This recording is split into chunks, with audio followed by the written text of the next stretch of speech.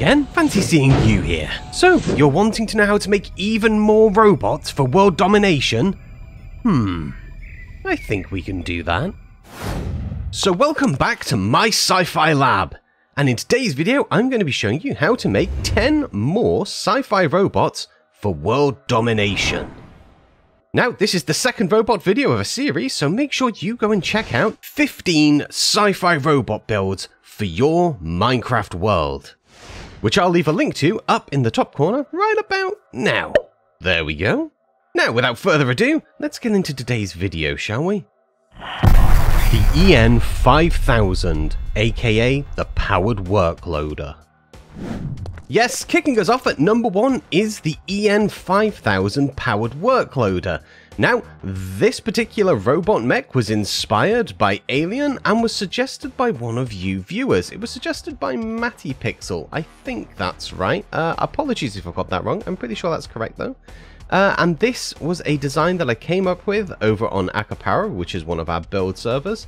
Super happy with how it came out. So we have our little area here where we can stand inside. So we just jump inside here. There we go. And this is where you would stand and control the device. Very, very cool.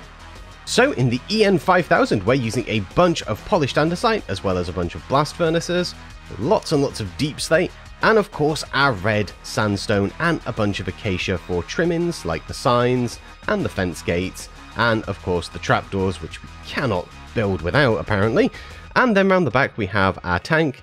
We've got a couple of custom heads up here. We have some exhausts and some extractor fans and don't forget, links to all of the heads will be available down in the description below, as well as the world download for this. So there you go. Now the EN5000 was the inspiration for this entire video, so thank you to Matty Pixel for suggesting I build this a few months ago. Uh, very fun, and a very, very cool build. And there we are, that is the EN5000 powered workloader. The ENX5250, aka the Auroch. So the ENX 5250, aka the Auroch, is a follow-on to the EN5000. As you can see, it is also a powered workloading machine, but unlike the EN5000, it has a closed cockpit, so you get into it via this section here, there we go, and now we're inside the machine. Ha! And the reason it has this closed cockpit is to give a better working environment to the pilot of this machine, so that inside can be nicely air-cooled and stuff, because this is for going deep down into the ground and lifting up massive huge rocks and stuff. Uh, around the back we have a couple of extractor fans, as well as a big exhaust, thank you to the blast furnace for doing a lot of the heavy lifting there.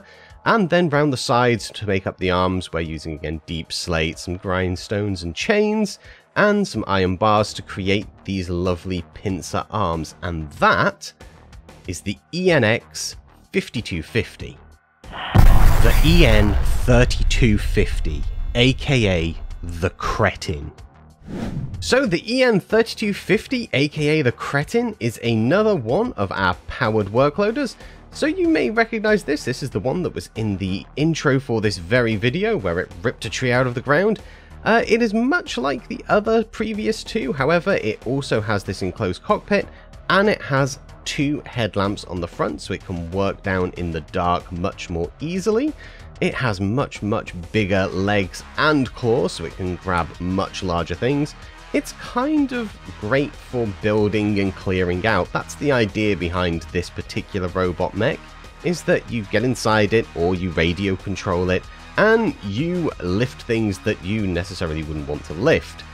Now, we're using a bunch of different blocks to make up the Cretin, so we have some observers there and some acacia trapdoors. We're also using a ton of polished andesite and blast furnaces, levers, end rods, lightning rods, and of course all of our deep slate and our signature smooth red sandstone because we can't have a build without it. And around the back we again have two of our extractor fans and two of our exhaust units so that we can pump out any of those nasty fumes from inside the cockpit and the engines. Now the EN3250 is one of my favourite robot mechs, and it's mostly because of these arms. So unlike most of my robot designs, I decided to give them the sort of almost pauldron-esque upper parts to their arms, and it kind of made it very dwarven and squat looking, and I really, really love that. I'm very, very happy with this one. I mean, obviously, it's the one that I featured in the intro. It makes perfect sense. The ENX 0088, aka the Rufus. So the ENX 0088, aka the Rufus, is a utility robot mech. Uh, so as you can see, we have a claw here on its left arm, and on the right we have some sort of blasting gun. And I imagine that this goes down and blasts huge chunks of rocks from inside deep cavernous walls, and then grabs them and hurls them back behind it to be loaded and taken up to the surface. So we have this very, very squat design for the Rufus to make sure that it can get enough head clearance when it's down in the caves, as well as our two headlights on the front. We have our signal on the back, and then we have our exhausts and of course our extractor fans. Now you may be wondering why this robot is called the Rufus, and actually, uh, I don't know. See, this robot and a few other robots in today's video weren't actually named by me, but were named by one of my fellow randoms, Lag Monster. So, uh, thank you, Lag, for naming this the Rufus. Don't know why you did it. So if you want to check out Lag Monster's videos, there will be a link down in the description, and I'll also pull a link up on screen right now. There we go. The EN 2090, aka the Decimator. Now, taking a break away from our utility and mining robots, we have the EN 2090, aka the Decimator. Now, as you can tell, this is not a mining or utility robot. This robot is built for one thing and one thing alone. And that thing is pain. So we have these two huge twin rotating guns mounted on either side of its cockpit, which you could leave as a manned cockpit, or you could put a couple of eyes in there and turn it into a full-fledged robot. Now, some of you may recognize the name for the EN 2090, as well as the look, and have thought, hmm, where did you get the inspiration for that from? Well, the inspiration for the EN 2090 comes from the ED 209 from the original Robocop movie, which, uh, as a child, uh, really scared me. Uh, thanks, Mum and Dad, for letting me watch that as a child. Um, yeah, therapy. It's a hell of a thing. But if for some reason you have watched the original Robocop, just like I have, you will recognize that these legs are a lot longer, and that is because the ED209 famously falls down the stairs uh, and can't get back up, uh, because it doesn't have the leg span to do so. So we have given the EN2090 a longer set of legs. We also have a tanker at the back, as well as a couple of jets, so it could like lift its legs up and fly forwards. That's the idea behind that and of course our little cockpit. So that is the EN 2090, aka the Decimator. Hey, Future Enigma here. Now, if you're enjoying this video, don't forget to drop it a like and consider subscribing. And punch that notification bell, even Derp can manage it. There's no excuse. Okay, let's get back to the video, shall we? The ENX 8050, aka the Chief. So this is the ENX 8050, also known as the Chief. So the Chief is another one of our large hauling mech robots. As you can see, it is the largest one of its type, hence his name, the Chief. So like the rest of our ENX standard robots, we are using our oxidized copper as well as some warped planks and some warped trapdoors, so we get this nice green look, which is a much more elite colouring than the EN models. And around the back we have these twin tanks for holding fuel, and then we have these large oversized claws. So unlike our other utility haulage robot mech suits that we have shown in this showcase, this one is definitely one that's more for the surface, not for downing mines and caves and so on. This would be for taking heavy engine parts to and from large machinery. So we have these extremely large oversized claws, twin tanks at the back, and of course our closed cockpit as is standard on the ENX models. And that is the ENX 8050. The EN 1550, aka the Goliath. Sometimes you just have too much to move, and that is where the EN 1550, aka the Goliath, comes in. We have these large claws, not the largest, but they are definitely somewhat substantial. And then round the back, we have these huge two twin jet engines, so that this robot can not only move things on the ground, but through the air. So as you can see, we have these extremely large hips, which can rotate and come backwards, and the legs can flip up and become tail fins, so that this thing can soar through the air. So unlike all of the other utility bots, the Goliath can get anywhere at any point. Now, just like the Chief, the Goliath is not built for going deep under the ground, it is built for soaring up through the skies and traversing difficult terrain once it lands. So we have these extremely long legs with oversized feet at the bottom with a retracting rear claw, as well as of course our twin jets for soaring through the sky. We then have these really nice little claws. They're not massive, they're not the biggest, but you could swap them out for the large oversized claws. And I actually intend to do just that. So in a few weeks, if you follow me over on Ko-fi or you're a member on my Discord, which there will be a link for down in the description below, you'll be able to get your hands on an entire robot parts list. So you'll be able to mix and match different hulls, different legs, and different arms together using Litematica. So to make sure you don't miss out, be sure to check the description below and either follow me on Ko-fi or, better yet, join my Discord. It's new. The ENX850, aka the Titan. Of course, it's not all just about moving things around and building things. Sometimes we just want to destroy stuff. And when you do, and the Decimator's not quite enough for you, there is the ENX 850, also known as the Titan.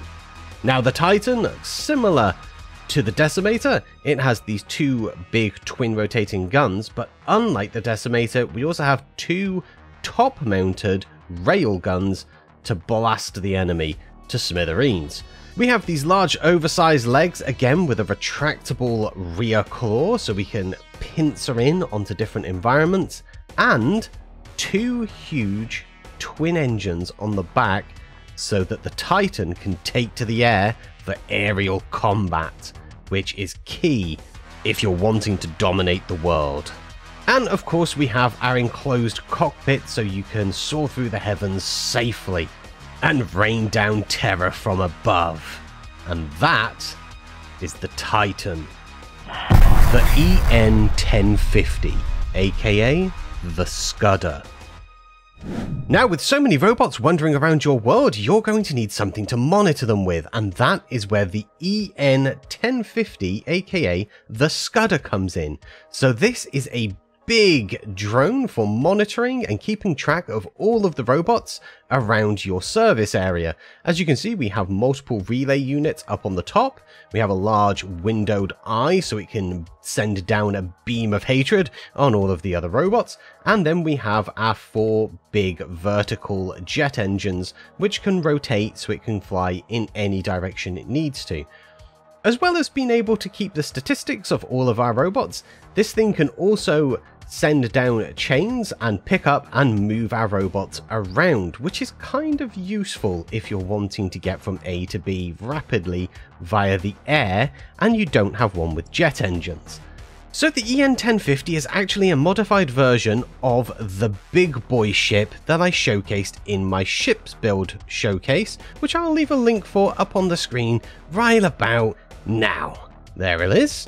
And if you'd be interested in seeing more flying robots, let me know down in the comments below, and maybe I will do one in the very near future. The ENX 1010, aka the Grappler. Now, if you really want to grab things, I have the perfect robot for you. This is the ENX 1010, aka the Grappler. Now, this is a big floating meatball esque robot, as you can see by its central part, and it sort of floats through the air and has these giant, oversized, gorilla esque arms and these giant hands for grabbing things. Now, this was in actually inspired by, again, one of the robots that Dr. Robotnik uses in the Sonic series, and I really liked the idea of challenging myself to do hands in the scale that I normally build at. So we're using some anvils and some stairs, a few more anvils to get the fingertips at the bottom, and then we have this thumb where we're using a wall and a couple of stairs to get the shaping in, and then for the top of the hand we're using two sets of stairs so we can get this all palm shape in underneath, and some trapdoors and some carpet, and then that goes up to these large oversized arms. Again, it has this similar sort of pauldron-esque design that we used on the Cretin, and then we have our central cockpit area, which you can of course get inside uh, via this bit here. So we can just flop, there we go, and then stand up here, and there we are. We're inside of the grappler. Now, the Grappler is probably one of my favorite robots. I kind of picture them being used as like boxing mech robots in like a futuristic sci-fi setting where they sort of punch each other and sort of almost like robot sumo or robot judo. Uh, and yeah, that is the ENX 1010, aka the Grappler. So there you have it, 10 more sci-fi robots for your world domination. Now if you enjoyed this video don't forget to drop a like and consider subscribing because that helps me out a ton. And if you want to get your hands on any of these beautiful robots, a link will be down in the description down there. Yep, there it is, there, there you go, there's a little, little thing there on the screen. Uh, yeah, just go down to the description, it's down there. And don't forget to let me know which one of these is your favourite robot down in the comments as well, because I am interested to know which one of these you would most like to build, and maybe I'll make a build tutorial for it. Now I have some more world domineering to do, so until next time, Enigma out.